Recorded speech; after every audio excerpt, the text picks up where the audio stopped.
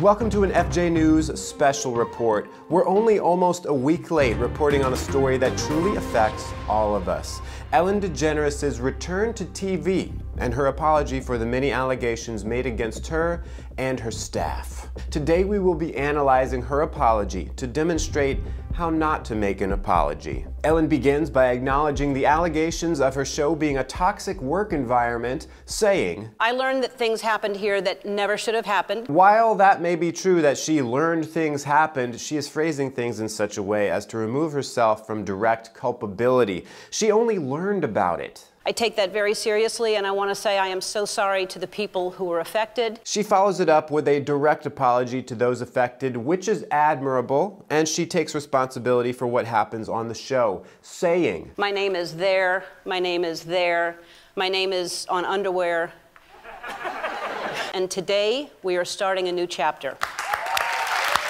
This might just be me, but the clapping undercuts the sincerity a little bit. Like, woo, no more toxic work environment, yeah.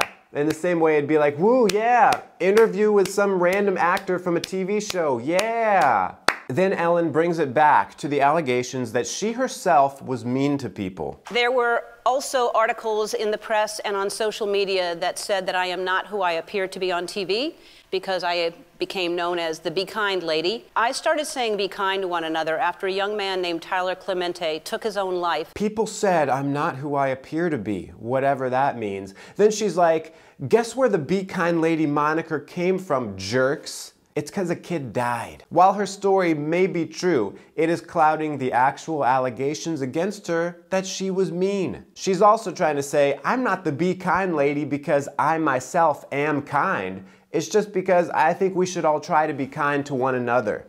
Because someone died, which is not the worst explanation in the world. It actually makes a lot of sense. But the problem is, when you are apologizing, Explanations often sound like attempts to avoid responsibility. I am that person that you see on TV. I am also a lot of other things. I sometimes I get sad, I get mad, I, I get anxious, I get frustrated, I get impatient. She's only human. And it is good that she admits that she is flawed and working on it. Who isn't, after all? But she still never said, Yup, I was mean to people. I'm sorry. As she goes on, I think she makes one of the biggest mistakes you can make in an apology. And if I've ever let someone down, if I've ever hurt their feelings, I am so sorry for that. When apologizing, don't say the word if. This is the first time she has apologized for her own actions, which, in fairness, I have only heard about third hand, so what do I know? But by using if, she is saying, Did I do it? I'm not sure. If I did, sorry. If I didn't,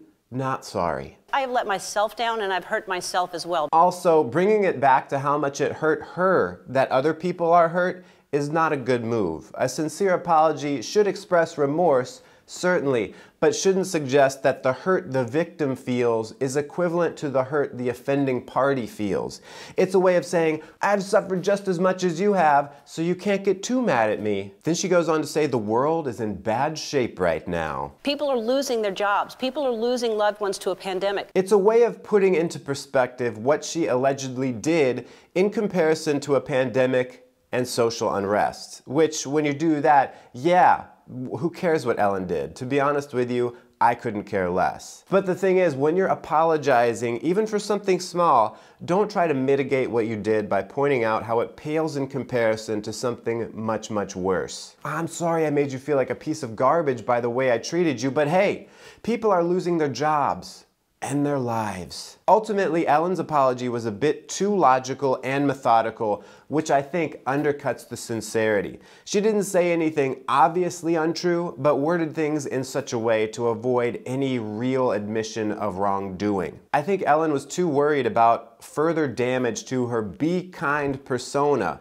which ironically led to an apology which probably undercuts the persona more so than if she had just said, yeah, I was a jerk to people. That was wrong but I've learned my lesson. Check out this FJ News video next. Hit like as I am monitoring the analytics closely, and until next Sunday, have a good week.